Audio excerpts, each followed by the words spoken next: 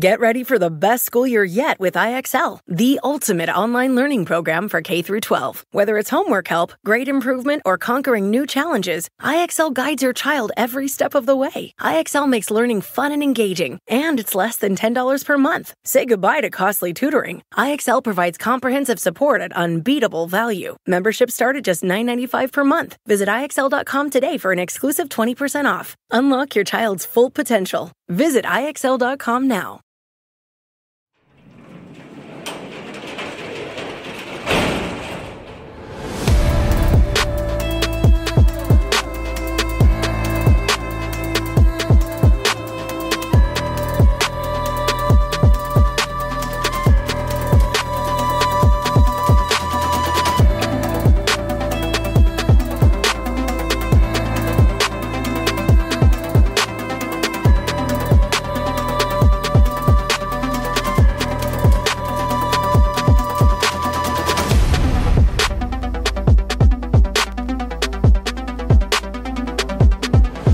Welcome to True Crime Garage. Wherever you are, whatever you are doing, thanks for listening. I'm your host, Nick, and with me, as always, is a man who knows that it's demanding to defeat those evil machines. Here is the captain. Yeah, just call me Tom Morello. It's good to be seen and good to see you. Thanks for listening. Thanks for telling a friend.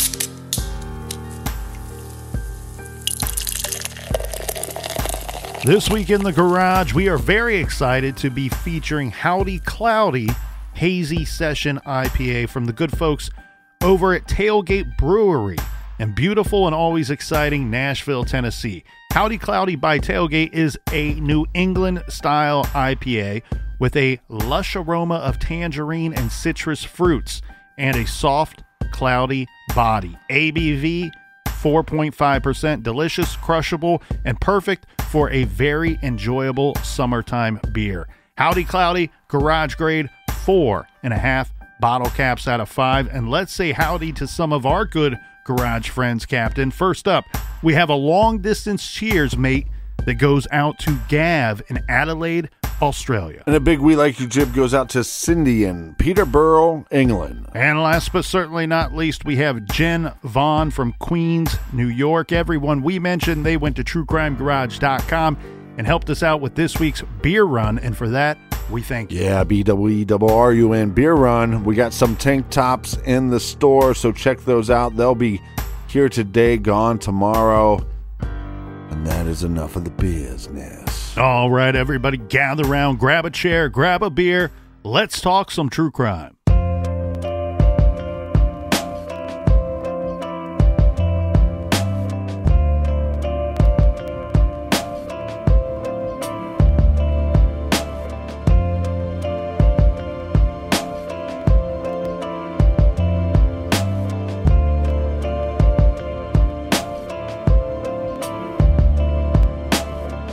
This is a very tragic case that we have to examine today.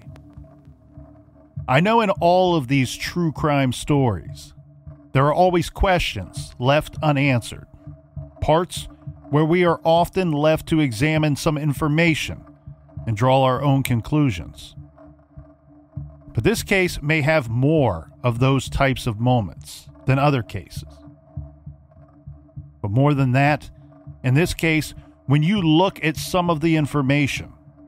Instead, you find yourself asking time and time again why certain questions were not asked by others previously. Questions that should have been asked and alarms that should have been raised by those in power. People with authority at the local level.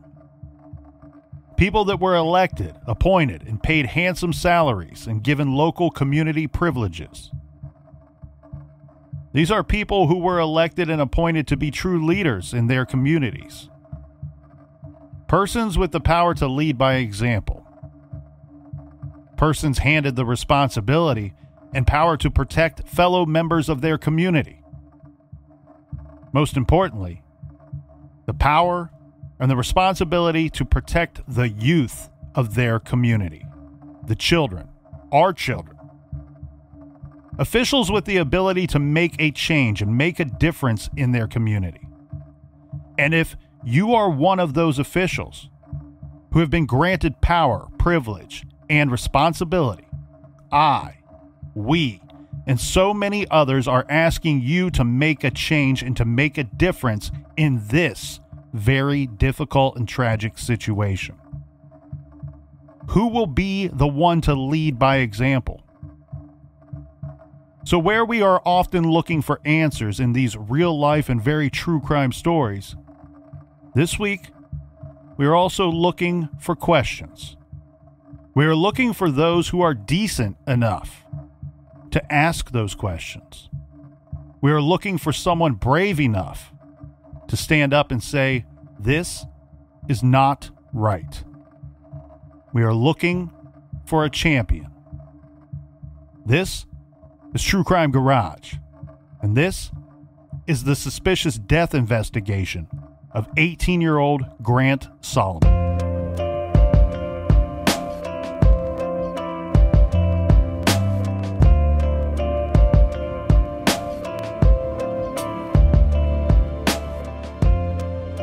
Celebrating an 18th birthday is universally regarded as one of life's major milestones, with good reason. It is the age at which a person is first considered to have formally attained adulthood. Now, one can finally legally vote, marry, and serve in the military. So, there's a lot of reasons to look forward to turning 18 to finally becoming an adult. But one of those reasons should not be to now have the ability to finally have the ability to petition the courts for custody of your little sister. And unfortunately, Captain, that is what we have here. This was the case for a young Grant Solomon who turned 18 years old.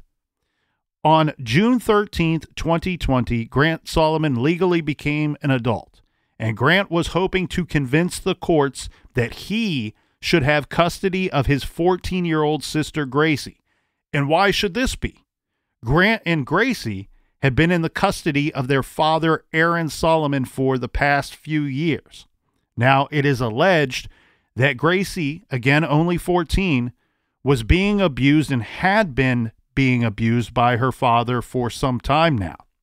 Grant, feeling like he was his sister's last line of defense, was eager to man up, literally, now that he had legally become an adult. He was hoping to testify in court as an adult against his father and, more importantly, get custody of his little sister granted to either his mother, Angie, or to himself. Definitely, there has to be a lot going wrong if a 18 year old wants to take responsibility for their younger sister. The situation seems to be this, Captain, that the kids, Grant, his younger sister, wanted to go live with their mother. Their father was preventing that from happening. The courts were giving custody of the children to Aaron Solomon. And because the courts would not grant custody to Angie Solomon, his ex wife, it is stated and reported that it was Grant's goal to, now that he's finally an adult, potentially take over the custody rights of his sister. And in fact, more importantly, testify in court that his father was abusing his little sister. Well, not just physically abusing her, but sexually abusing her as well. It's according to to the reports out there, this is alleged abuse on all fronts. And it goes without saying, but this is an incredibly serious situation. One that should not be the concern of a young man one who should be focused on his new adult life, school, college, and things of that nature. So, 18th birthday cause for celebration in this case, yes and no. But that is not the only alleged crime in this week's story. No, because many have stated, and very publicly at that, what the captain's talking about. That at the center of this week's case, at the center of this entire story, is years of alleged abuse in all forms verbal, mental, emotional, physical, and sexual, all leading to Grant's death that some are saying was a murder, and many, many saying that at least this should be investigated in a thorough, proper investigation. Grant died in a suspicious and unlikely event that was termed an accident, an accident that may have only been witnessed by one person Grant's father, Aaron Solomon. An air quotes accident of which the details of that supposed accident are provided to the world by the only eyewitness present, the allegedly abusive father. We'll get into the details of that day in question after we set this up a little bit more for you. Right, because many people are saying that these details of this situation do not match the photographic evidence available. Right. Details that are, again, suspicious and unlikely. So, this is the story, a, a tragic story of the 2020 suspicious death of a young man, 18 year old Grant Solomon, who lived in Franklin, Tennessee. But the incident will take place in Gallatin, Tennessee. This is the kind of case, Captain, that I call a fence builder case. This incident and situation has built many fences over the last three years. On one side of the fence, you have those that say this is simply a very sad and very unfortunate accident. And then you have those on the other side of that fence that say, not so fast. This is an intentional homicide. We're going to start off just two guys in a garage walking a tightrope. The tightrope is that fence built by this incident and separating a community. 18 year old Grant Solomon was a popular and accomplished student athlete known for his intelligence, athletic prowess, and kind hearted nature. Grant was a gifted dual athlete. He excelled, especially in baseball and on the basketball court as well. In fact, he was garnering attention from Division 1 teams as a pitcher. Despite allegedly enduring years of abuse from his father, Grant remained an optimistic person and he was very protective. He was very protective as a son and as a sibling. He had plans to testify against his father once he reached adulthood and hoped to gain custody of his little sister Gracie, whom he also believed was suffering abuse by his father. Unfortunately, shortly after turning 18 years old, Grant met a tragic fate in what was officially ruled an accident, a vehicle accident. This is when his 2015 Toyota Tacoma pickup truck rolled backwards into a ditch, dragging him underneath the vehicle, to which Grant suffers a terrible injury, leading to his death. As said, the sole witness to this incident was his father, Aaron Solomon. But it's more complicated than just that, of course. Aaron says there were three other guys there at the scene trying to help him and his son. But this is after Grant and the truck are already in the ditch, and the truck is on top of Grant. As we keep pointing out, this story is quite complicated, but I think we should start with the morning in question and then just take it from there. Right. So we are going to go back just three years ago to what looks to be a very nice place to live, work, and raise a family. This is Gallatin, Tennessee. Gallatin is a city located in Sumner County, Tennessee, with a population of a little more than 44,000 people, this according to the 2020 census. The city was established on the Cumberland River and is the county seat of Sumner County. Gallatin is northeast of one of our favorite cities, Nashville, Tennessee. This is a safe city, a low crime area with crime rates well below the U.S. national average. The morning in question is July 20th, 2020. This is a Monday. The location of the incident is the Ward Performance Institute at 1357 South Water Avenue in Gallatin. This is a baseball training facility where Grant Solomon was attending this event that, that's labeled as an evaluation of his skills in a practice session. Now, on this morning, accompanying him would be his father. We do need to point out that it's well reported that this is going to be the first time in two years that the two would be alone together somewhere, going together just the two of them without Sister Gracie or anybody else present. There are plenty of people that are saying Grant was not looking forward to this event. Some have said it's because his father would be there. Some have said it's because his father insisted that he go to this event.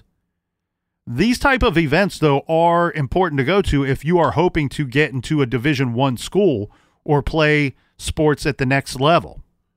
We should also point out though here and remind everybody if you've forgotten shame on you, but this is COVID.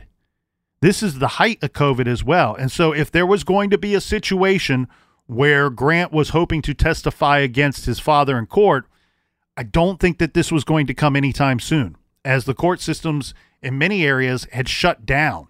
Right. And I'm actually a little surprised that this event was going on in July, but you know, every area handled this pandemic differently.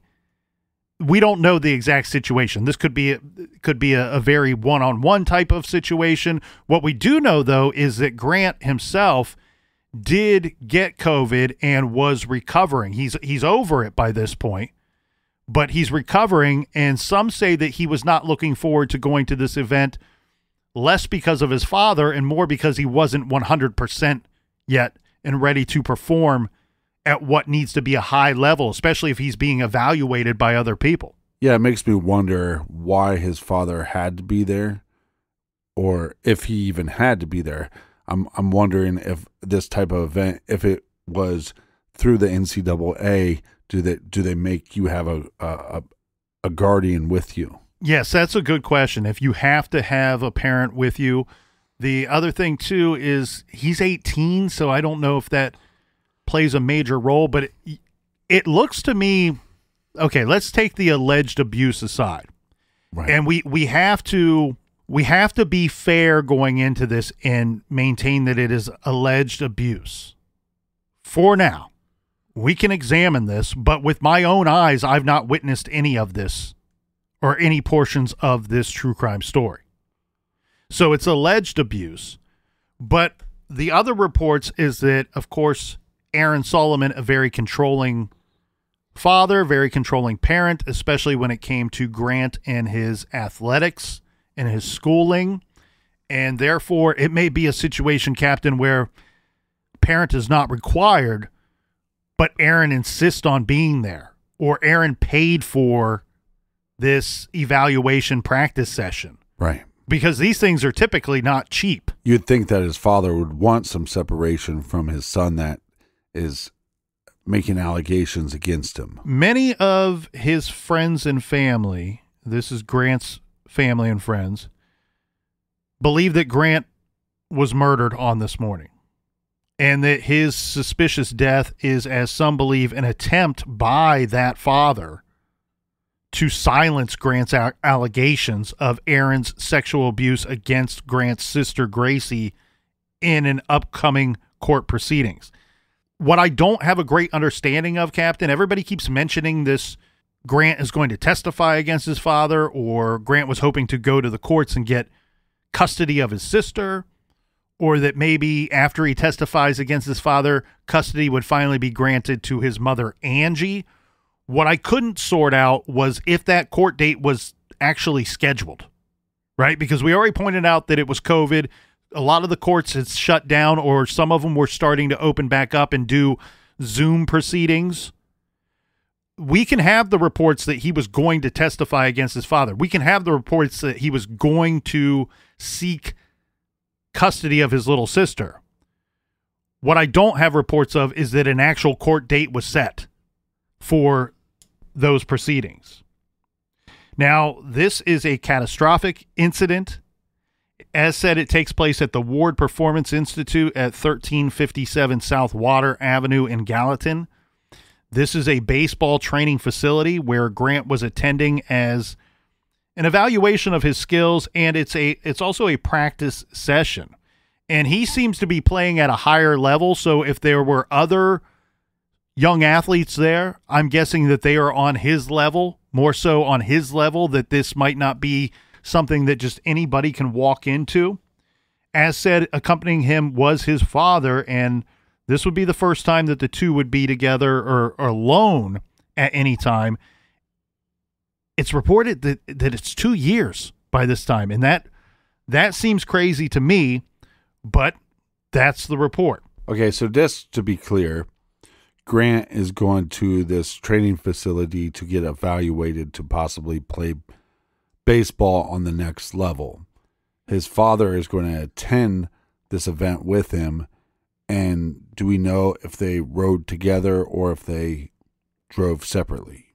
What's great about this case is that a lot of the information that is out there it's it's well documented and it's well presented to the public. And so we have some very official reports to reference in this case, which we don't get that in some of the cases. But this case, because it's so recent, again, just three years ago, let's start by going through those official reports. So the first one that we're going to review, Captain, is a written statement by the father, Aaron Solomon, after the air quotes accident. This is the written statement that he provides to the police officer on the scene that day.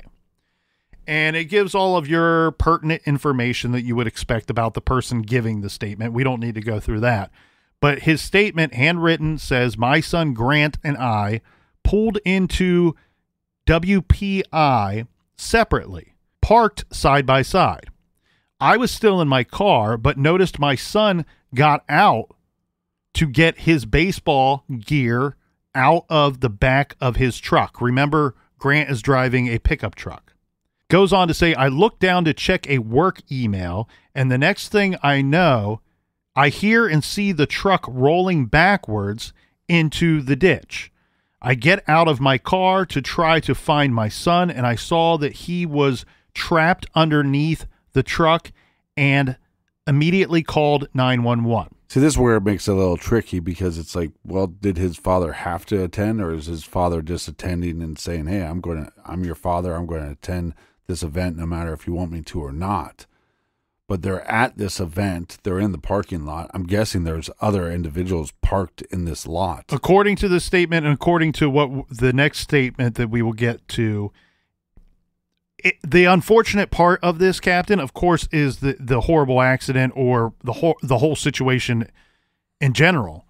But the added factor is that, according to these reports, and according to people that are trying to put together some form of investigation on this incident, there's not anybody else that seems to have 100% witnessed the situation themselves other than Grant's father, Aaron. And by his own statement, it seems like he's missing part of the story too. He looks down to check an email on his phone and then next thing he knows he he he realizes the truck is moving backwards Right. they're parked on an incline and we'll get to accident scene photos and evaluation and examine those here in a minute but they're parked on an incline right up against the facility right next to the building itself side by side and according to his statement he looks down to check his email he knows his son's already out of his truck goes to the rear of the truck to retrieve his baseball bag and other equipment from the back of the truck, from the bed of the truck, and then realizes, oh snap, the truck is moving backwards. He gets out and does not see his son, and then realizing, truck in the ditch, my kid is underneath the truck. So we have a, we have a typed statement from the responding officer. And from my understanding, Captain, once Aaron calls 911, Aaron Aaron is the first and only person to call 911 in this situation. And police are on the scene relatively quickly. But keep in mind, it it's a Monday morning. It's busy rush hour traffic, people driving off to work. And that's where the lack of eyewitnesses, even after the truck is in the ditch, are few and far between. It's pretty slim here. But we do have these air quotes official reports. So this report from the officer says on July 20th, 2020 at 8:43 a.m. I was dispatched to the the location that we've been discussing discussing for an injury crash. I arrived on scene and found a male subject that was trapped under his vehicle in a rocky ditch area. Sumner County EMS and Gallatin Fire Department were already on scene attempting to get the male subject out. I spoke with the father of the male subject, and he was identified as Mr. Aaron Solomon. Mr. Solomon stated that he was meeting his son Grant at the facility and that he had arrived there first. Mr. Solomon stated that he was sitting in his vehicle when Grant pulled in next to him in his white pickup truck. Mr. Solomon stated that he observed Grant get out of the truck and walk towards the back door area. Mr. Solomon stated that he then noticed that the truck was no longer parked beside him, and he started to get out and look and heard a loud crash and observed Grant's truck had rolled down the hill and into the ditch. Mr. Solomon stated that he went over to the area of the truck and observed Grant under the vehicle. Mr. Solomon stated that he called 911 at that time and attempted to help his son. Mr. Solomon was able to get me information on his son, and he contacted Grant's mother and notified her of the situation. I gathered a written statement from Mr. Solomon, and he was released from the scene to go to Sumner Regional. That's the hospital where Grant was transferred to. I was not able to locate any other witnesses to the crash.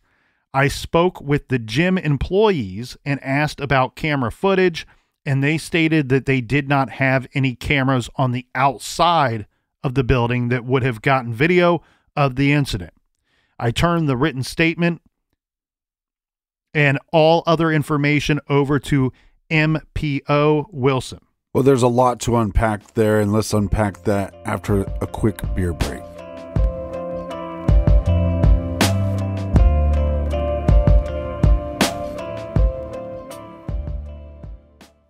This show is sponsored by BetterHelp.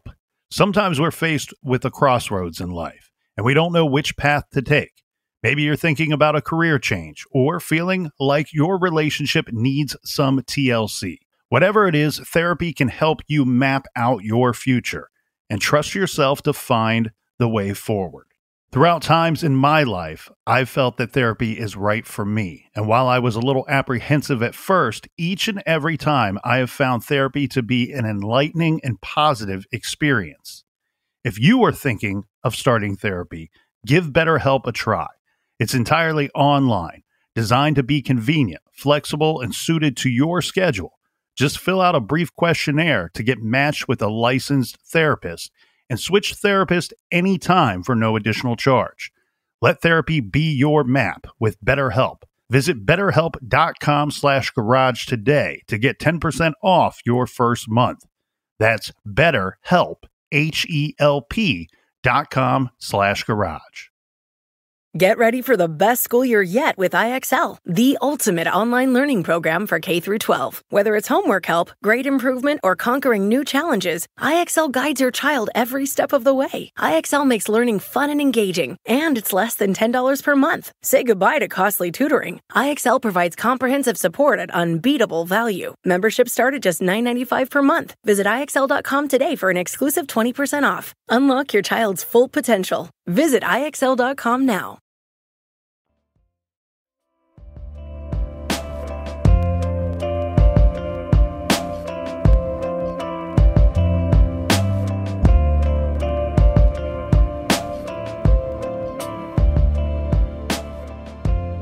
Cheers to you, Captain, and cheers to the people in the back. Real quick, I want to tell everybody about our good friends over at Law and Crime.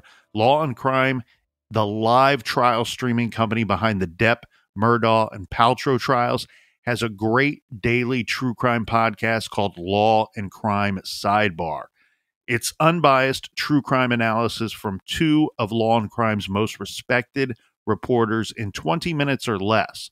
Law and Crime Sidebar dives deep into the biggest true crime stories every Monday through Friday. The podcast also recaps the nation's biggest trials everyone is talking about. They take you inside the courtroom, break down key moments, wins from both sides, sentencing, and victim impact statements. Listen to Law and Crime Sidebar every Monday through Friday on Apple or Spotify or wherever else you get your podcast. Make sure you check out our friends at Law and Crime and their podcast, Law and Crime Sidebar. All right, we are back, ladies and gents. Cheers to you all. Thank you guys so much for buying t shirts and keeping the lights on in the True Crime Garage studios. Cheers to you, Captain. Now, I'm going to just play devil's advocate here for a second as we go through this. If you're going to attack your son to shut him up about these allegations of abuse towards him and his sister, sexual and physical and other types of abuse. You probably won't do that in a public location. Also, a location that you don't know if they have security footage. And also, probably in a location, a public location that you don't know if they have security footage or not and you're not in the vehicle with your son going to the facility, so you don't have any control on where he parks his vehicle. I agree with every one of those statements. The takeaway, though, would be that one, this may have been something that Aaron is considering in silencing his son, but it also it also could be something that was rather impromptu it wasn't planned or wasn't planned for this day at this moment. They haven't seen each other in two years, or, or I shouldn't say that. They've seen each other in the past two years. They've not been alone right in the past two years. And if Grant is a threat to his father, by all these reports, it sounds like he's not legally a threat to his father until he turned 18, which is like a month and seven days before this incident. So where I'm where I'm going with this, Captain, is that this could be something that just they arrive, they see each other, they're in the parking lot having a conversation that starts to get nasty at some point, and maybe one person did something that wasn't planned. Maybe wasn't even something that they would do had they been able to keep their cool. But somebody did something and then had to find a way to cover it up. Right. So I, I agree with everything that you're saying. This is not like this is not the ideal place to ambush somebody. Yeah, and we're going to get into some medical reports as well, right? Yes, we have again, we have very official reports here, some of the med- the medical stuff, the the report from the police officer that we just went through, but more importantly, we have the accident scene photographs. Before we get to that, though, let's play that 911 call. County. I'm trying. Where's your emergency? It's 1357 South Water Street. It's off 109. Please hurry. You said 57? Please hurry. Okay, what's going on? 1357. Uh, my my son's truck backed over him, and he's it's rolled over him and dragged him into the ditch, and it's on top of him. He's trapped under the truck, and I, I yeah, he, he uh, somehow it drug him underneath it. Yes, my son is under it. I'm trying to no, I'm I'm trying to call 911. Okay, what's your name? Oh my god. My name is Aaron Solomon. And you said oh my God. 1357 South Water Avenue, right? Yes. How old yes. is the male? He's 18. He just turned 18 a couple weeks, about a month ago. It's my son. Oh my God. Oh my God, this is not good. Is he awake and Oh, please hurry. I don't know. I don't think so. He's not. Uh, he's not alert, right? No, he's out, and he's trapped. I got three guys here, and he's trapped under the truck. Okay. Oh my God. I understand, sir. Stay on the phone with me while we get somebody out there. What's your name? Aaron Solomon. All right, Aaron. Huh? What kind of vehicle is it? It's a Toyota Tacoma Tacoma, and it the the vehicle has to. He's underneath the vehicle, Okay, I've and got the, that. and and it's Okay, I've got that. What color is it? it's a white truck. That's my son. He it's somehow it backed up. Yeah. Yeah, I'm on on I'm on with 911 right now. Oh my god. Oh my god. Oh my god. Was your son working on it? No, no, he was just getting out of it. It's the hill. It's we're on an incline, and I guess he didn't have it in park or something, or it wasn't engaged, or oh my god, Oh my God, I can't believe it. still not responding? no, no, And he's still No. under trust. No one can get Yes. out from under it. No, we, it's We've no. got units en route to you. I'm just asking you questions for we can Huh? update them, okay? Can you check and see Huh? if he's breathing? I, I, somebody's telling me that he's coming too. Okay, he Maybe.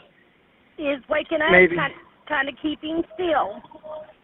So he is Well, he breathing? can't. Yeah, he can't move. I don't think he can move. I, I don't know. Okay, I understand. No, he can't move. He's trapped. Okay, we got somebody in route. Now, when he wakes I, up, he might I'm be telling him, scared. man. Can somebody just I'm get down him. there and talk to him? Yeah, somebody talk to him. There, shit. There's blood. What, is he facing up or down? He's facing up. They said he may aspirate. We need to hurry. Oh my god. So does he have blood coming out of his mouth? Yeah, he's yeah. There's blood coming out. Yeah, somehow it drug him down. I think I don't know whether it wasn't in park or what, or if it didn't engage the brake, or it drug him underneath somehow. Okay. They said he's facing up. Okay. but he's bleeding from his mouth. So, Grant, turn your face to the side if you can, barely, but be careful. Don't move him, okay? We can't move him. We can't. We can't move him. Oh my God. All right, Beeson, they're there. I'm gonna let you go, okay? Yeah. Okay. Okay. All right. Uh-huh, bye-bye. I always find the 911 calls to be very fascinating. Yes, I do as well, Captain. I think that they're they're often fascinating, and but I'm always like pulled to one side of the conversation where I'm like, I get they're asking a whole lot of questions. Just hurry up and get here. You know, I know in some areas they have the ability to once emergency personnel has been dispatched to then continue on with the call and then play the call over the radio for the persons responding to the scene which is all, always very interesting and very cool because then you know that they're they should be getting firsthand knowledge of what the scene is, what it looks like prior to arriving, and Right. so you're able to jump out of your your fire truck or your ambulance and and get right into action and get right to the scene. You know, it seems like such a silly question to say, well, what color is the truck? Well, you you sit there. If, if you're an emergency and if that's your son, you're you're sitting there thinking, who cares lady like it, it could be Right. purple for all for all i care but but no it's you know as you pointed out earlier captain this is not a busy parking lot and we only know that based off of the the officer's statement and aaron's statement as well but had it been a busy parking lot just something as simple as knowing the color of the truck may save the responders 20 seconds, 30 seconds. These could be life saving seconds. Yeah, and I, I just want to set up this scenario clear for the listener. We have a son that is going to a athletic facility for some a training session where he's going to be evaluated. He he pulls up into that parking lot. His father pulls up beside him. He gets out to get his equipment. Somehow, this truck backs up over him. He is now in the ditch. This is what what his father is saying. He's now in the ditch with the truck on top of him. Now the father is saying that there's three other men at the scene trying to help. He's calling 911.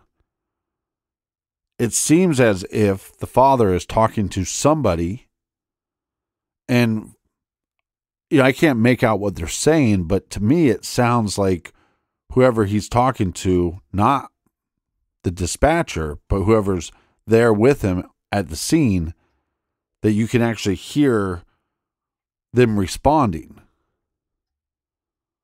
Does that make any sense? Well, this to me, this is one of the most difficult parts of this case to examine because there are a lot of people out there that say this is all a farce. That that that these people they weren't really there. Uh, that Aaron made them up. He's acting. There are other people too that are saying, you know, clearly he's making no sense on purpose on the 911 call. I think those people need to take another listen to the call because he's either actually talking to other people that are there. It's not that he's not making sense. He's talking to more than just right. the 911 or emergency personnel that answered the phone. And that's clear. He's having multiple conversations. Just the only other conversation that's being recorded is that with the emergency personnel. Right, but I'm just saying my ears, I'm I'm asking you a question. My ears when he's talking to somebody quote unquote in real life that I'm hearing some kind of response from them. Like I hear somebody there's there there's other voices on this phone call.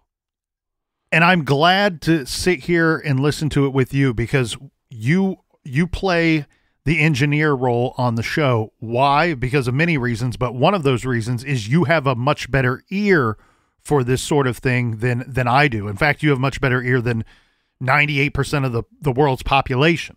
Yeah, that's been tested. It's we that's been proven I once and time again. drove with my father to Those a are facts. Those are facts. Yes, and we tested. Now, the thing here is I don't know if I had to lean one way or the other. I'm with you that I believe that I hear some kind of response or there's something in the background when he's talking, clearly talking to somebody that's not being recorded. Okay, but If I had to lean one way, that's the way I go. But I don't feel so strong or confident about that statement. okay, but what we do hear on the 911 calls, we hear the ambulance come. Yes, yes, or sir. or some people would call it uh, ambulance. ambulance or the fire truck. We know that the according to the officer's statement, the EMS and fire department personnel were already on the scene when the police arrived. right. So they would be able to tell us if there was other individuals at the scene. Here's the problem.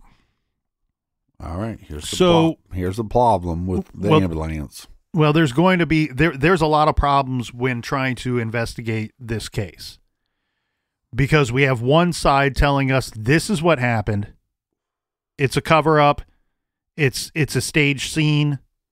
This is a murder. We have the other side saying this is an accident and these other people are these allegations are are crazy. The situation as I understand it, Captain, is this according to the officer, what he said, I could find no other eyewitnesses. The officer, per his statement, couldn't find the three people that were there when he arrives on the scene. Now, anybody that's been trying to assist in an accident or witnessed an accident, uh, or or even a, a crime, we all know that typically what happens is people rush to try to help and then once the the appropriate people are there the people that are that know what they're doing the first responders Right. the experts once they're there the people that showed up to help they kind of leave at that time or well, but also or um, the officer or EMT or somebody will say you know we need you to kind of clear out of this area we you know let us do our thing Yeah, we also know that there are people there. There's probably a time frame that you have to be there at this athletic facility to perform and to be evaluated. So these people that might have stopped to help, they might have an appointment to go inside. So when they go, hey, the the ambulance came and the firefighters are here and they got this under control, we're going inside. Yeah, the the other thing too to keep in mind though, with it being the the COVID year, they may be doing these evaluations and the practices more one on one Well, that's And- yeah, and, and- and but that's what I'm saying. But everybody would have like an appointment time. and staggering these throughout the day. And we do have the officer statement that he receives the call at eight thirty seven a.m. So there's a chance that that um, Grant's appointment would have been the first of the day. Mhm. which would make sense when you see the the accident scene photos where there just appears to be no other vehicles in the parking lot other than emergency personnel and the thing here is too like so this this is why I'm I'm trying I have to stay water in this situation. This is a very fluid situation. Stay water, examine each situation as we go through it, the evidence as we go through it and not to lean one side or the other prior to to looking at any of this information that we have to review. So the thing is yes, I'm with you. If I had to pick a side, I believe that he is talking to somebody. So that would imply, yes, there were these three other people or two other people. He references three in the 911 call, he being Aaron, the father. Right. We at least know that there's. Uh, look, I I can lean towards the idea there as at least one other individual there. The problem then becomes this. Those persons, just because they're there during the 911 call, does not mean that they witnessed any portion of this accident. Right. It only means that they stopped to help after they see a big white truck in a ditch right next to a busy road. We don't, per the officer's statement, have any other eyewitnesses. Well, the other problem too with without having these eyewitness statements, we don't know if the father tried to flag down individuals to get help. Right. And here becomes the problem. Later, when the people are saying the side that says this is intentional homicide,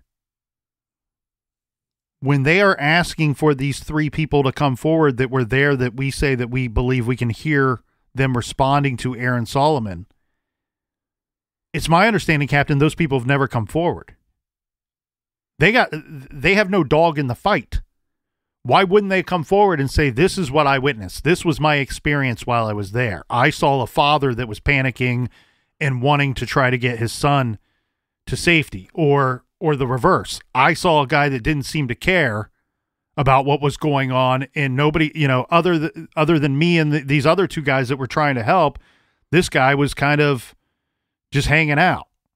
The, the the thing that I want to sort out here is why is what is clear that I can tell from him talking to the emergency personnel The father, yeah. and to the supposed three guys that are there. He's not down in the ditch. If those other three guys are there, he's not down in the ditch. You can what again, the re- the interaction between the father and the three guys that are there to help, it seems to be that they are relaying information to him that he is then in turn telling to emergency services. And I want to know why is he not down in that ditch? Is is it as simple as he couldn't get a signal down there? Or maybe his phone was in his vehicle, so when they said, "Hey, call 911," he had to get out of the ditch, go back up to his vehicle. And maybe he's not thinking clearly because this is a panic situation. yeah. But we all know the simplicity of it is if you can be there with the person that needs help, that is the quickest way to get information to the people that can offer help, is to be right next to that person. And unless you cannot communicate with emergency personnel and be next to the person, that that's the only explanation of why this man wouldn't be down in the ditch with the truck and with his son. Well, I also think these quote unquote eyewitnesses that have never come forward, one, maybe it's because they're coming from a faraway land to go to these uh, this tryout, this evaluation. It could be a, a regional tryout. These guys could be from, you know, a couple hours away. Right, and it's difficult to say who these people are without them coming forward. But I, I want to make something clear before we go too far down this road. It, it, if these people do exist, it's my understanding that they are they are passerbyers that stopped because they Right, they, they saw yeah these are people that should have been just driving to and from work. It's eight thirty in the morning. Right. These weren't individuals. No, because they would have stuck around and the police officer who was there within minutes would have interviewed them. Like, yeah, because they could have went into the facility and said, "Hey, Right. The You- only person that the officer says he was able to speak with are two guys that were working in the gym. They're working in the the facility that that Grant was supposed to go to to attend this this session. Now I'm gonna I'm going to go to the other side. Like I said, I was playing devil's advocate. Now I got to come back to this other side. A big uh, question for me is, I'm the father. I pull into a parking spot. I check my phone. I look up. My son's car has now backed up. I get out of my vehicle. I see that the vehicle has somehow dragged and trapped my son under the under the car. Mm-hmm. Right then I'm making the phone call. If I'm making a 911 call right away, right when there is an emergency, there is nobody at the scene at that time. There is no eyewitnesses because they wouldn't have had time to get there and to be in that ditch helping my son when I made that call. Does that make sense? No.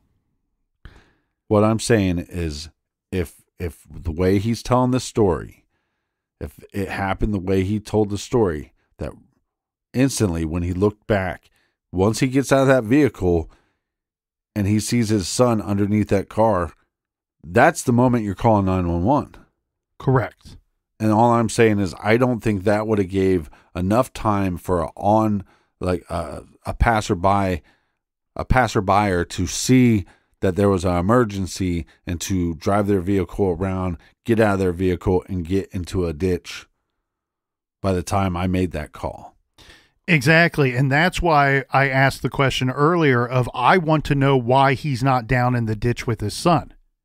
Right. Because if if he goes down there, as he says in his statement, I got out of my vehicle only to go and find the the truck in the ditch and my son underneath. Is he trying to call 911 and he can't he, he can't get a signal for whatever reason. Right. And so he runs back. If anybody bothers to so if you go to freedom4gracie.com, you can see the accident photos that were taken that day there on this website. And you will see very clearly why it makes sense that the truck would go and roll down the hill. I when when I first started looking at this case, I had made the assumption that we were probably talking about a five-speed manual transmission and that maybe he just didn't put it into park. Now, it I later learned that this was an automatic transmission, but that still could be the case. According to several people, and unfortunately Grant is not here for us to ask him, but according to several people, Grant was nervous about going to Gallatin that day, possibly nervous about being alone with his father, even if it's just for minutes. And maybe in his nervousness, he failed to put the vehicle into park and left it in neutral. Does not set the parking brake. He's parked on an incline, goes around to the back of the truck. The truck starts to move backwards, topples over top of him, dragging him down into the ditch. That is not an improbable situation. That is not a highly unlikely situation. But what people will point out is some of the other evidence when you get into the details does not line up with him with with the truck causing his death. yeah. So sticking with the 911 call, I, I don't know if I hear much acting.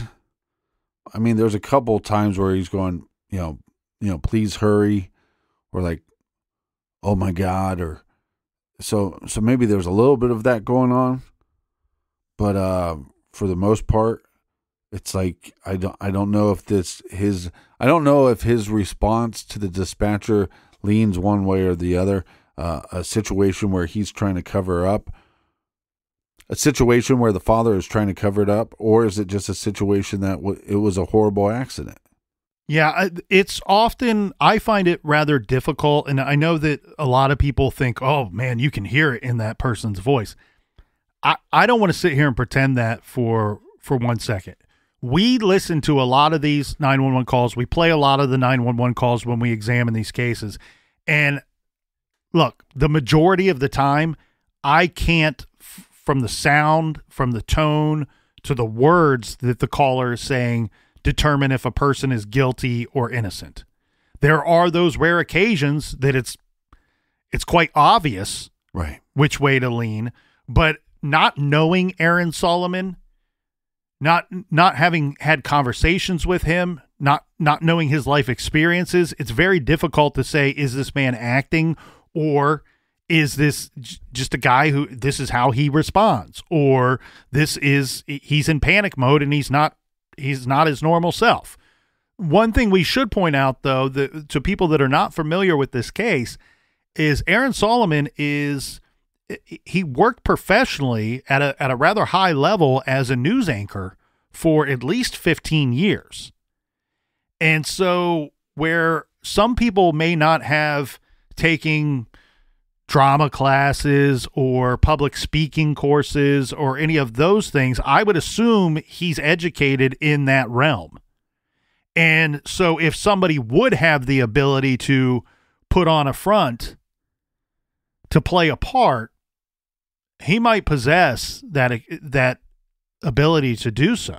Well, and let me just point this out though too, because, like I said, I hear somebody in the background. I'm going to assume that those those are some eyewitnesses or people that are trying to help.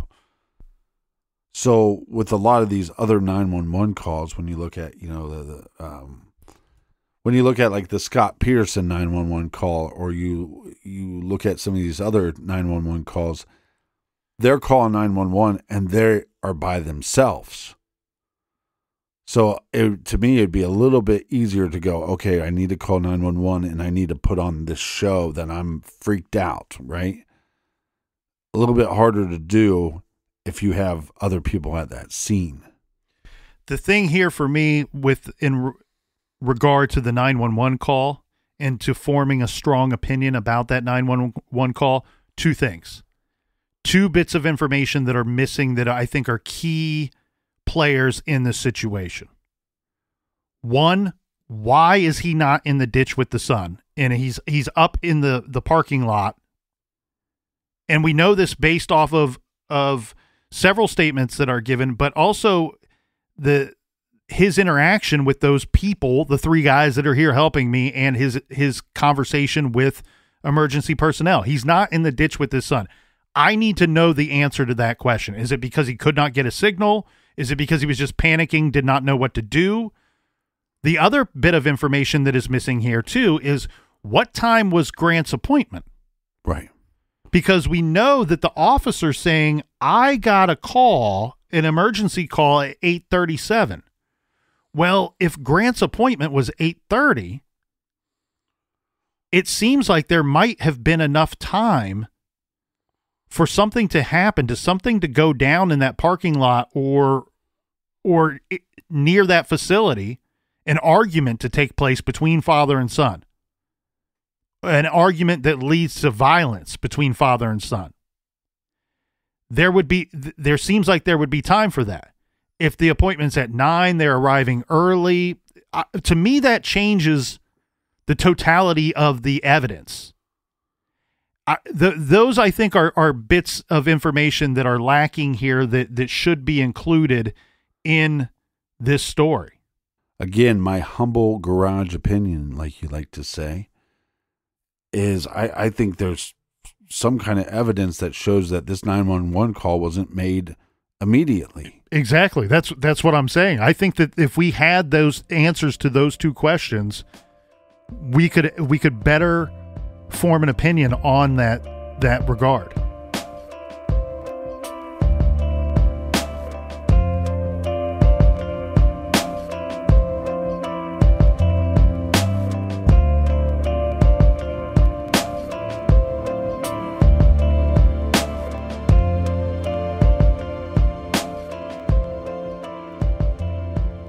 Want to thank everybody for joining us here in the garage. Until tomorrow. Be good, be kind, and don't litter.